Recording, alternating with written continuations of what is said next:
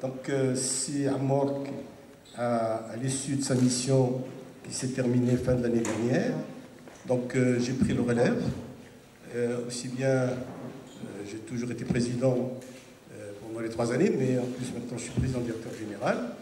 Et c'est pour ça que je souhaiterais d'ores et déjà vous dire qu'après le départ de Sermor, on a mis en place une organisation de gens, de- des personnes Aujourd'hui, euh, euh, plusieurs projets ont commencé à voir le jour depuis l'année dernière et de nouveaux projets voient le jour cette année. On a déjà, depuis le début de l'année, on a déjà lancé deux nouveaux projets qui permettent de sécuriser l'avenir du groupe. Tous ces projets se feront en prenant toutes les précautions d'usage et évidemment qui tiendront compte de notre nouveau modèle de développement. C'est que la dette du groupe était de l'ordre de 8 milliards 500. Aujourd'hui, elle est à 2 milliards et demi. Ou les 2 milliards et demi, 2 milliards concernent la dette privée qui est en cours de reprofilage. Donc ce qui fait que franchement, je n'ai pas osé le dire tout à l'heure, mais s'il y a un groupe qui est... Nous on n'a plus de dette aujourd'hui même avec le 2 milliards.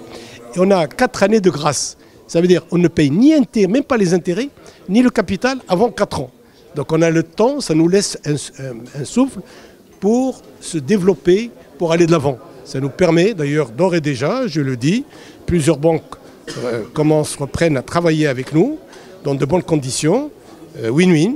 Évidemment, leur financement des CCPI sont adossés à des projets, donc il n'y a aucun risque pour les banques et pour nous. Et puis de toute façon, globalement, je ne tiens plus à m'endetter indéfiniment. Je tiens à ne pas dépasser 100 à 120 millions de dirhams d'intérêts par an.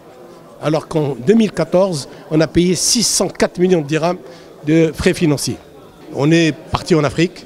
Alhamdoulilah, on travaille aujourd'hui dans deux pays. En Côte d'Ivoire, à Abidjan essentiellement, on a un projet important. On est les premiers, hein, les seuls, à avoir livré notre projet déjà fin 2017.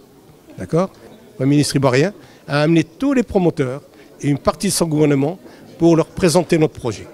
Et là, on fait de la promotion immobilière. Et puis, on travaille au Cameroun, mais là, c'est avec un financement garanti par l'État. On réalise 8 hôpitaux HCR, plus à côté de chaque hôpital 100 logements, plus des équipements d'accompagnement. Et puis, on rééquipe les plateaux techniques de 3 CHU, 2 à Douala et 1 à Yaoundé. Donc tous ces projets avancent très bien. Euh, on a même déjà livré, tous les logements sont livrés sur les 8 sites, parce que c'est à travers le pays, et les premiers hôpitaux commencent à être livrés au fur et à mesure. Ils n'attendent plus que les équipements techniques. Nous sommes très sollicités en Afrique. C'est nous qui maintenant prenons des précautions. Je parlais de risque tout à l'heure, c'est voilà. Mais nous sommes très sollicités un peu partout, en Angola, euh, au Kenya, euh, partout. Je dirais bien sûr au Sénégal, un peu partout. Euh, Les principaux agrégats commerciaux en 2018 sont les suivants. Donc euh, 418 u- unités vendues pour une VIT d'un milliard euh, 350.